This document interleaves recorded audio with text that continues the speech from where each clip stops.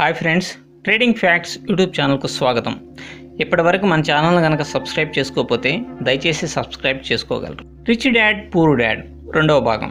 నాకు ముప్పై తొమ్మిది సంవత్సరాలు వచ్చేంత వరకు తండ్రులిద్దరూ చెప్పేది వినేవాడిని నా ధనిక తండ్రి డబ్బు ప్రాధాన్యతను చెబుతూ ఉండేవాడు.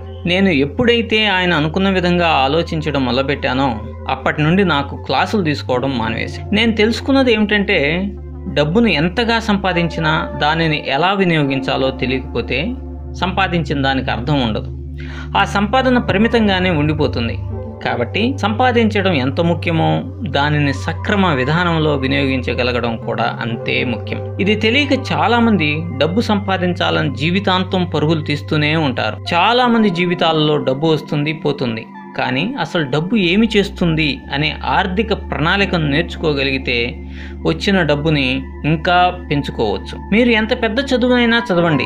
ఎంత తెలివైన వారైనా కానివ్వండి కానీ ఆ డబ్బు అసలు ఏం చేస్తుంది అనేది తెలియకపోతే మీ జీవితంలో ఆర్థిక ఒడిదుడుకులు తప్పవు. అసలు డబ్బు ఎలా సంపాదించాలి? అది పంతొమ్మిది వందల యాభై ఆరవ సంవత్సరం నాకు ఖచ్చితంగా తొమ్మిది సంవత్సరాలు. నేను మా వీధి చివరిలోని పాఠశాలలో చదివేవాడిని మా స్కూల్లో ధనికులైన కుటుంబాలకు చెందిన పిల్లలు చదివేవారు. వారిలో ఒకరు నా స్నేహితుడు. వారికి కారు ఉంది. బీచ్ ఒడ్డున గెస్ట్ హౌస్ ఉంది. వారు ఒకరోజు కారులో బీచ్కి వెళ్తూ నా మరో ముగ్గురు స్నేహితుల్ని వెంట తీసుకువెళ్ళారు. నన్నెందుకు బీచ్కు రమ్మని అనలేదు అంటే నేను పేదవాణ్ణి కాబట్టి అనే సమాధానం వచ్చింది. దీంతో ఇంటికి వచ్చాను. నాన్న కుర్చీలో కూర్చొని పేపర్ చదువుతున్నారు. నాన్నని ప్రశ్నించాను. నాన్న నాకు ఇలా అవమానం జరిగింది. నేను ధనవంతుణ్ణి కావాలి అంటే ఏం చేయాలి? అన్నాను. దీనికి మా నాన్నగారు చదివే పేపర్ను పక్కన పెట్టి నన్ను దగ్గరికి తీసుకొని ఓ నా చిట్టి తండ్రి నువ్వు ధనవంతుడివి కావాలి అంటే డబ్బును ఎలా సంపాదించుకోవాలో నేర్చుకోవాలి అన్నాడు. దానికి నేను డబ్బు ఎలా సంపాదించాలన్నాను? దీనికి ఆయన నీ బుర్ర ఉపయోగించు అన్నాడు.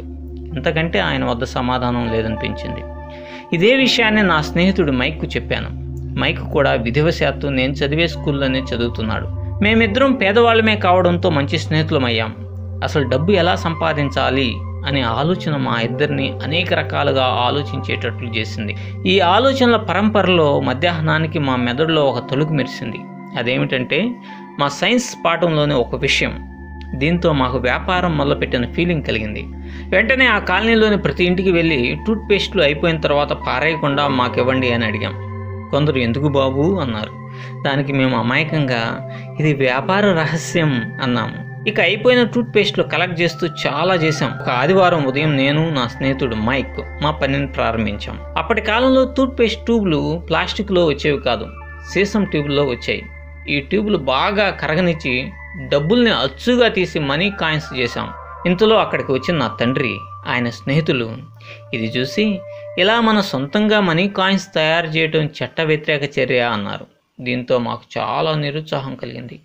మా నాన్నగారి స్నేహితుడు అక్కడి నుండి వెళ్ళిపోయిన తర్వాత నేను మైక్తో అవునరా జిమ్మి అన్నట్లే మనం పేదవాళ్ళం అన్నాను. దీంతో మా నాన్న మా భుజాలపై చేయి వేసి మీ సృజనాత్మకత ఆలోచన విధానం చాలా బాగుంది. మరొక రకంగా ఆలోచించండి అన్నాడు. దీంతో నేను నాన్న నీవెందుకు ధనవంతుడివి కాలేకపోయావు? అని అడిగాను. దానికి ఆయన నేను టీచర్గా పనిచేస్తున్నాను. టీచర్గా పనిచేసే వ్యక్తి పిల్లలకు పాఠాలు ఎలా చెప్పాలో ఆలోచిస్తుంటాడే గాని డబ్బు ఎలా సంపాదించాలో ఆలోచించడు. అందుకే నా డబ్బు సంపాదన అనే ప్రయాణం గతుకులమయమైంది చూడండి పిల్లలు ఎవరైతే వారి ప్రయత్నాలను ఆపివేస్తారో వారు బీదవాళ్ళు అయినట్టే లెక్క. మీరు డబ్బు సంపాదించాలనే ప్రయత్నాన్ని మొదలుపెట్టారు. దాన్ని కొనసాగించండి. ఈ రోజు కాకపోతే మరొక రోజు మీరు విజయం సాధించగలరు. చాలామంది డబ్బు సంపాదించాలనే కలల్లోనే వ్యవహరిస్తుంటారు కానీ ఏ ప్రయత్నం చేయరు. అటువంటి వారు నాలాగే మిగిలిపోతారు. సో మీ ప్రయత్నాలు ఆపకండి. కొనసాగించండి అన్నాడు. దీంతో వారిద్దరి మనసులు ఎంతో ఉత్తేజాన్ని పొందాయి. సరే నాన్న అయితే డబ్బు ఎలా సంపాదించాలో చెప్పండి అని ఇద్దరూ అడిగారు. దీనికి మైక్ పై మా నాన్న చేవేసి చూడు మైక్ మీ నాన్న వద్ద డబ్బును సంపాదించాలనే ఆలోచనలు విపరీతంగా ఉన్నాయి. ఆయనని అడగండి అన్నాడు. దీంతో మైక్ ఆశ్చర్యపోయి మా నాన్నకు అన్ని తెలివితేటలు ఉంటే మేము పేదవాళ్ళుగా ఎందుకుంటాం? మాకు జిమ్మి వారికి ఉన్నట్టు కారెందుకు లేదు అన్నాడు. దాంతో మా నాన్న మా ఇద్దరిని ఒకచోట కూర్చోబెట్టి చూడండి పిల్లలు జిమ్మి వాళ్ళ నాన్న చెరకు ఫ్యాక్టరీలో పనిచేస్తుంటారు. కంపెనీ ఆయనకు కారు ఇచ్చింది బంగ్లా ఇచ్చింది. ఇప్పుడు ఫ్యాక్టరీ చాలా స్ట్రగుల్లో ఉంది. ఏదో ఒక రోజు ఈ కారు బంగ్లా పోవచ్చు. బట్ మీ నాన్న ఎప్పుడు ఆకాశానికి నిచ్చెన వేస్తుంటారు. ఆలోచనలు అపరిమితం. మీ నాన్న ఖచ్చితంగా ధనవంతుడు కాగలడని నా ఉద్దేశం. కాబట్టి మీ నాన్నను అడగండి డబ్బు ఎలా సంపాదించాలో?